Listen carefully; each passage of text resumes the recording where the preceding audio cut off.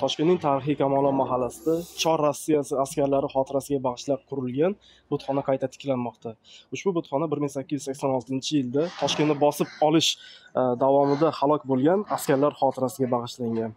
Ayni vaqtda butxonaning qayta tiklanishi to'g'risidagi olingan qaror ijtimoiy tarmoqlarda keskin munozaralarga sabab bo'lmoqda. Fikr bildirayotgan bir tomonning fikricha bu shunchaki tarixiy obida va u saqlab qolinishi kerak.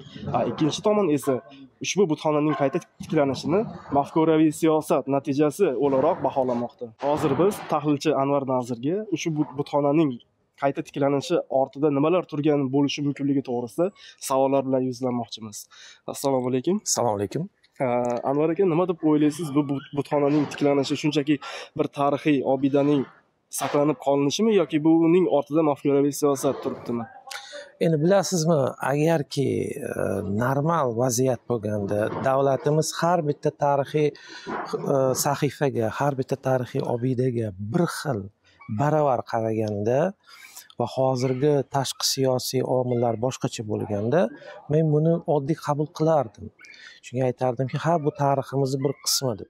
Tarixni xuddiki bir gipermarketga qabul qilib bo'lmaydi. Haligi do'kondek unga kirib siz istagan sahifangizni olasiz istamaganini olmay istamaganini oldidan o'tib ketasiz va o'sha istagan sahifangizni olib ko'tarishingizga tayyorsiz ko'tarib yurib uni iste'mol qilib va hokazo. Mana shu joyda bo'layotgan voqealar bo'lgan tarixiy birinchidan bular bosqinchi bo'lib kelgan.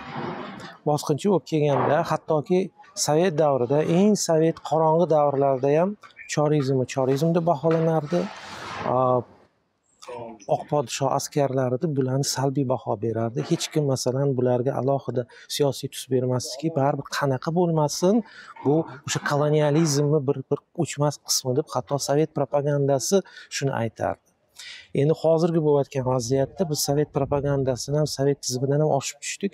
Bu narsani bir qanaqadir bir ulug'lashga harakat qilyapmiz. Lekin mayli ulug'lasin davlat mayli davlat tiklasin lekin alimqul boshchiligidagi minglab o'zbeklar lashkarboshi alimqul boshchiligidagi va boshqa lashkarboshilar boshchiligidagi toshkentni himoya qilgan mana mana shu mahallada halok bo'lgan oddiy mahalliy musulmon turkiya o'zbek aholi e, mashib kelgan kelgindi bosqinchilarga qarshi kurashgan.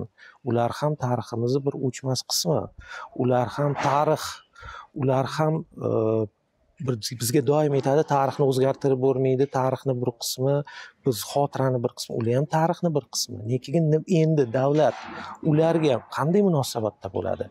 Ularni agar hozir davlat e, xotiralab xotirasini abadiylashtirib mana shu yaqin joylarda bitta yodgorlik o'rnatib e, o'sha minglab halok bo'lgan askarlarga o'rnatilsa aynan o'sha alimqulga bag'ishlangan bitta yodgorlik o'rnatilsa yo bo'lmasa umumiy yodgorlik o'rnatilib unda yozilsa shu yodgorlik mana shu bosqinchi chor rossiya askarlariga qarshi kurashgan mardovona halok bo'lgan e, bizni e, askarlarimizni xotirasiga bag'ishlangan deb qo'ysa men bunga masalan tushunardimki shu shu yodgorlikni ham qabul qilishga tayyor bo'lardim. Chunki bir qiziq omilga e'tibor berish kerak. Bu yodgorlik o'zidan o'zi bir qanaqadir yozuvlarsiz tiklanmayapti.